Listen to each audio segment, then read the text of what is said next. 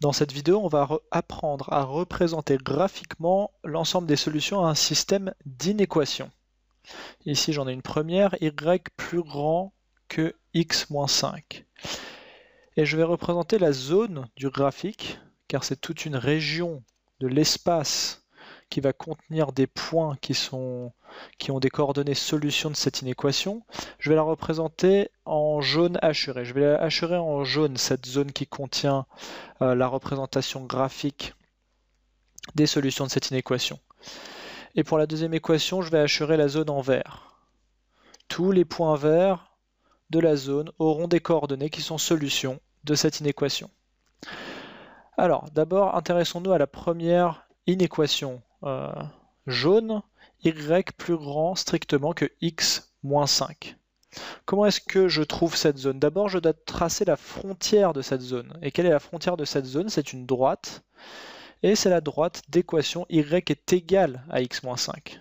y est égal à x moins 5. Et tout ce qui sera au-dessus de cette droite, strictement au-dessus de cette droite, sera, euh, contiendra les points dont les coordonnées sont solutions de cette inéquation. Donc traçons cette droite, ordonnée à l'origine moins 5, donc ce point est sur la droite. Coefficient directeur 1, donc lorsque x augmente de 1, y augmente de 1, donc ce point est sur la droite. Tous ces points ici sont sur la frontière. Et je vais tracer cette frontière en pointillé pour bien indiquer le strictement supérieur de cette inéquation si j'avais un supérieur ou égal ici, cette droite serait aussi contenue dans la zone. Mais là, j'ai envie d'exclure cette droite de la zone, donc je, l'indique en pointillé. Et quelle est la zone en question? Alors, quelle est la zone qui contient tous les points dont les coordonnées sont solutions de cette inéquation? C'est cette zone au-dessus de la frontière. Je, suis en train d'achurer en jaune. Tout ce qui est au-dessus de cette frontière en pointillé, en pointillé jaune est solution de l'inéquation. On va appliquer la même logique pour la zone verte.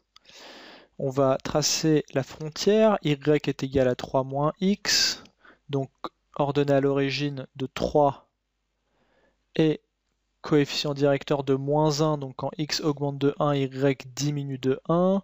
Ce point est sur la droite, tous ces points sont sur la droite. Et voilà une représentation graphique de ma frontière. Et ici, j'ai un y strictement inférieur à 3 moins x. Ça veut dire que tous les points qui sont en dessous de la droite, tous ces points-là, que je suis en train d'acheter en vert, ce sont ces points-là dont les coordonnées sont solutions de l'inéquation verte. Alors, pour qu'un couple soit solution, de tout le système d'inéquations. Il faut qu'il soit solution de la première inéquation et de la deuxième inéquation. Donc c'est la zone, c'est la zone qui est hachurée en jaune et en vert. Et en vert. Les coordonnées de tous les points qui sont contenus dans cette zone hachurée en jaune et en vert sont des couples solutions du système d'inéquation. Donc pour récapituler, on a représenté quatre zones sur ce repère. Quatre zones. Une première qui n'est pas du tout hachurée. Là, on n'a aucune solution, ni à la première, ni à la deuxième inéquation. Une zone hachurée en jaune seulement. Là, on a les solutions euh, à l'inéquation jaune, mais qui ne sont pas solutions de l'inéquation verte. On a une zone hachurée en vert seulement solution de l'inéquation verte seulement, pas de la jaune, et une zone hachurée dans les deux couleurs, c'est-à-dire les solutions à l'inéquation jaune et verte, donc les solutions au système d'inéquation.